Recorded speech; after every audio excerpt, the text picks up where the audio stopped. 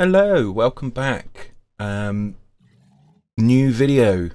We're going to look at Mystical Botania today, um, and we're looking at Mjolnir, um, which is a requirement for the All the Mods star. So if I come in and look at my quest book under All the Mods star, under this one here, it requires you to have the the Mjolnir.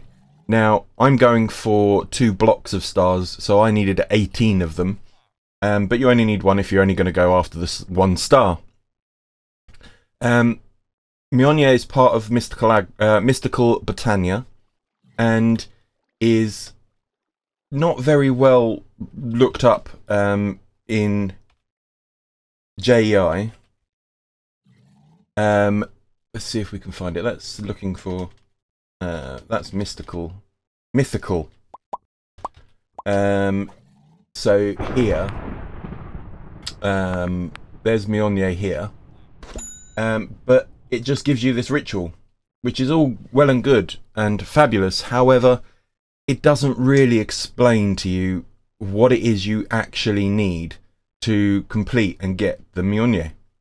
So what we're going to do in this video is a step-by-step -step tutorial um, on the grounds that you know how to get the runes through Botania itself. Um, I will list out the the runes that you need and how many of each you need, and how to then get this rune um, tablet of Fimbultyr. Totally, totally ruined that. But how to get this um, this rune here, um, because again, if we try and find that here, I'm left clicking and it does nothing. It's not showing me anything apart from this ritual. So it doesn't actually give us much information in the JEI. Equally, the book, um, the Lexica Botania, when you unlock that by throwing it through the Elven portal, again, doesn't really show you um, much about how you get this um, this beautiful little hammer um, and what you need to do.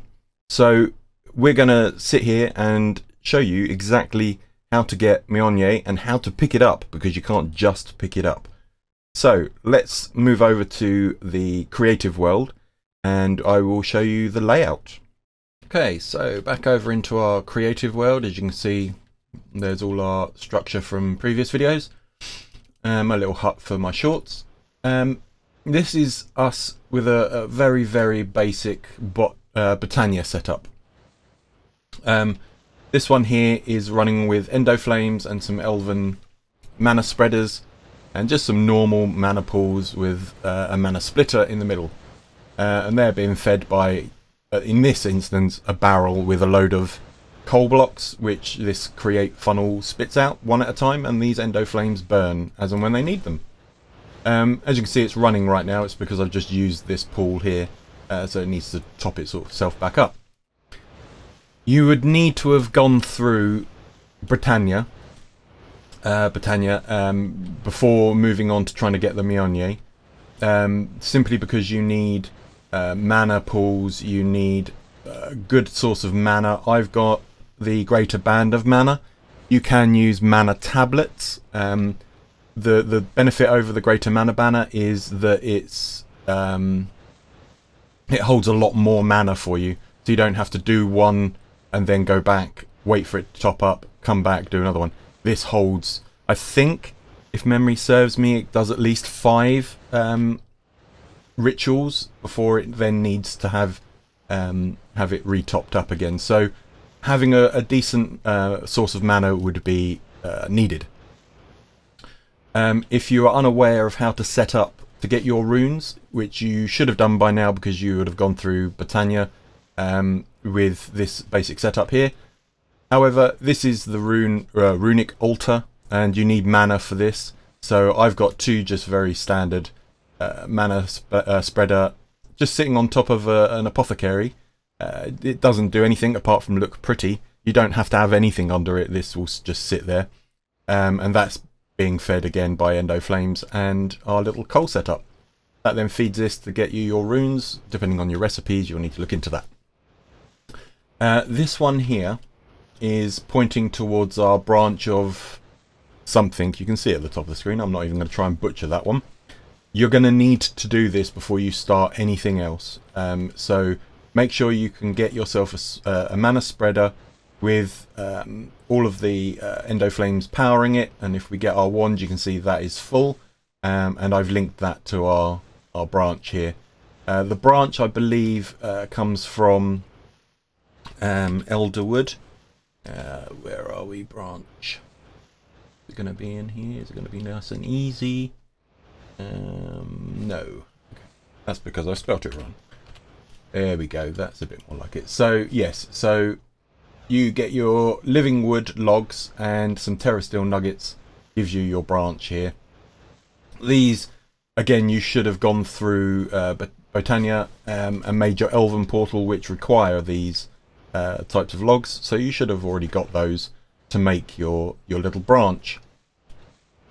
Once you get your branch, um, place it down and link your mana spreader. Make sure your wand is in binding mode. As you can see, if I go here on the white, you can see just above the hotbar it says that it's in binding mode. To change that, you just shift um, and then just right click uh, until you get binding mode up. And then shift right click and shift right click. And then it binds that together.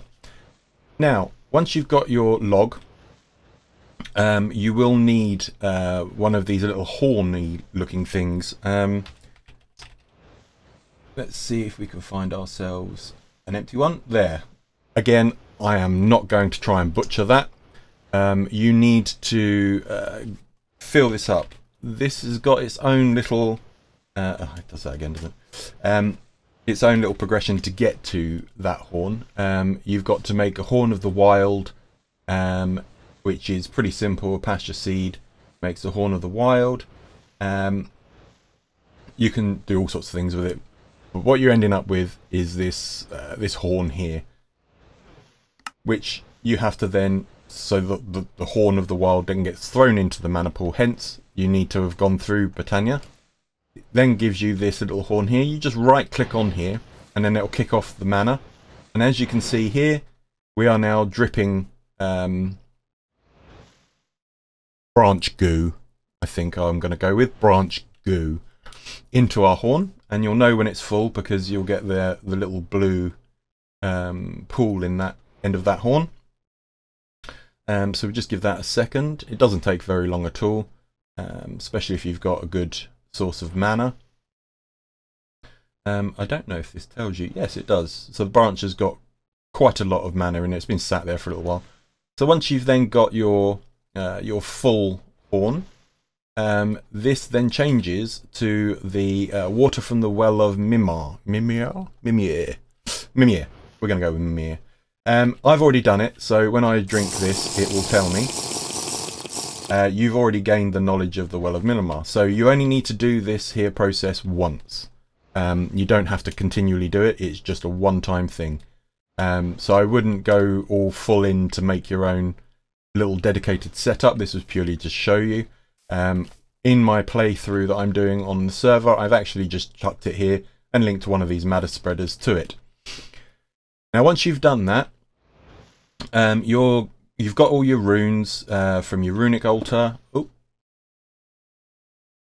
Okay, so there was a runic altar.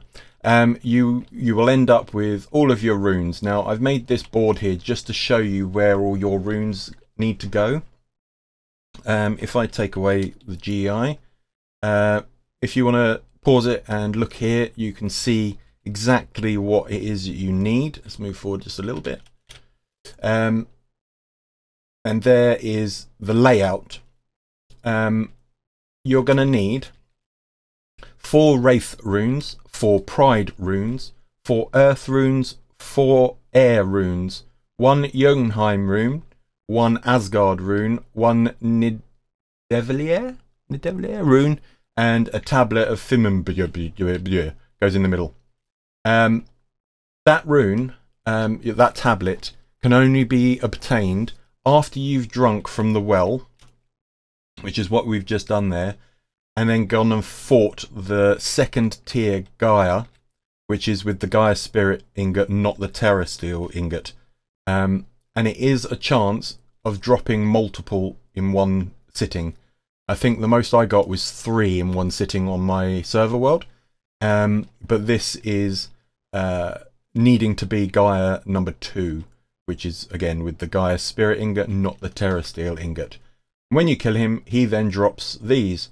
If you have not drunk this and got the knowledge, you will not get these tablets. So make sure you get this and drink it so that you can get the knowledge. Gaia's fight is is what it is. It's a Gaia, you fight it and he drops his things. Um, now, over here, again, if you want to pause, I've tried to make it as obvious as I can with where the placements of the the pedestals need to go. Um, this is the pattern that you need. Now, there is an orientation to it when you start placing your runes, and I will go through that when I start placing the runes with you. Okay, so once you've got all your runes together, um, we've got them all sitting down here. Um, the runes are not consumed. The tablet is consumed. So once this ritual takes place, that tablet gets consumed. So depending on whether you're going for one star or you're going for two blocks, depends on how many times you need to go kill the Gaia. Um, I think I ended up killing him eight times, um, and that gave me enough for my 18 uh, tablets that I needed to then make 18 of our beautiful lightning hammers. Um, it does look pretty cool. Not quite sure about the gold bands, not quite understanding where that comes in, um, because Mjolnir doesn't have that. However, this is a game. Right, so let's start placing our our runes. So on the middle goes our tablet. So let's move that out of the way. Let's start over here, the pride. So these ones are, can go um, pretty much wherever you want. I didn't get all of them out. Pride. Three more of them. Right, so let's put them on these corner ones. Uh, just like you can see over here, you got pride. They are on those sort of corner ones on the uh, on the map here. So air, I did not get enough of them either. Um, let's go with rune air. Oh, rune air. There we go. One, two, three. Okay, so with the uh, runes of air, um, this is where it then becomes where you need to orientate where you're going to put it and decide where your top and bottom are. So here is your bottom, there is your top. You need to then decide on where you're going to put these outer ones because that then depends where you then put the uh, Jotunheim and Asgard runes. So I tend to start at one end. So if I'm starting here, uh, I'm going to have the Earth runes. Uh, there we go. One, two, three. Put that over there. Right, so I put my earth runes at the bottom of my, my altar. So if we chuck those in, as you can see, they are now at the bottom of my my little sort of display here, my, my altar. Um, now, the uh, again, I didn't get enough of all these out. I do apologize. Uh, so we need another one of them. So now we know that this is going to be our bottom. These ones, again, don't really matter where you put them as long as they're either side of your altar. Um, again, if you're going to put earth over there, these are the same. But if you're going to put earth and earth, then these two will be your side ones. So as per this map, you can see that I've put my Jotunheim down here, my earth down here. So these are on either side going up. Um, important to pay attention to that. Um, so my Jotunheim can go here. And my Asgard can go here. Now, Wraith, again, didn't get enough of them. There we go, one, two, three. So the Wraith are at the cardinal points. So as you can see, we've got our Pride in each corner. Um, our Wraith goes in the, the four cardinal directions, like so. Um, and then we are left with our air. So if we go one air, two air, three air, four air. So the, the air and earth go on the inner corners of our ritual. Um, quite important that you lay that out. Can't stress that enough. The amount of times I got frustrated in my playthrough because it kept telling me that there was something wrong with the the uh, the layouts of the runes, and I couldn't figure it out until I realised it is directional. So please save yourself a whole load of time. Just pay attention to the directions you're putting them. Now you will need your wand. And we also need to give sacrifice. So we need a golden ingot, a red string, a tiny planet, um, a polished andesite, and a golden pasture. These all get consumed, so make sure you've got these in abundance if you're going to do what I'm doing and getting multiple of the stars. Um, these are just simply dropped next to the tablet. So let's go here, Q, Q, Q, Q, and Q. As you can see, they're just bouncing around on the floor. This is where your mana ring comes in, uh, because you do need mana to perform this. And you right click on that center one, and as you can see, we are now watching the beautiful ritual happen. Boom, and there is our Mjolnir. And as you can see, it spits all of the um, the runes back out. So just make sure you run around and collect them. Um, saves you having to recollect them or remake them if you don't collect them uh, at the time and they despawn. Now, as you can see, our mana ring has gone down a quarter, so I think I was right in saying it was five in each ring. You can have multiple of these in your inventory. Uh, you can even put them in your Kuro slots. Uh, it will sit in there as a ring. It's just a pain to keep taking it in and out when you're doing this. Now, to pick up Mjolnir, uh, because I'm in creative, it let me do it, which is a pain.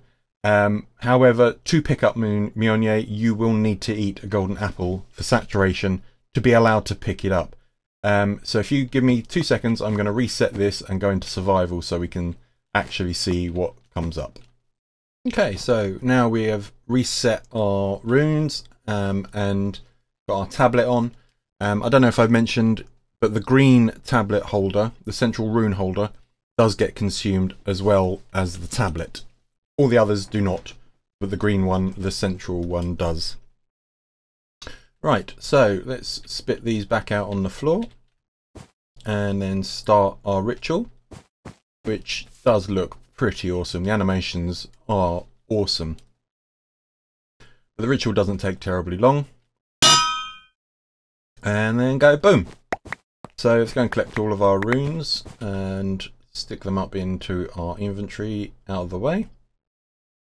Now, if I try and pick this up, you can see down the bottom there, uh, the hammer weighs way too much for you to lift it. However, it is told that the gods ate from the golden apples of Indun, Indun uh, to gain their power, which is basically telling you to eat a golden apple. So let me quickly grab a golden apple.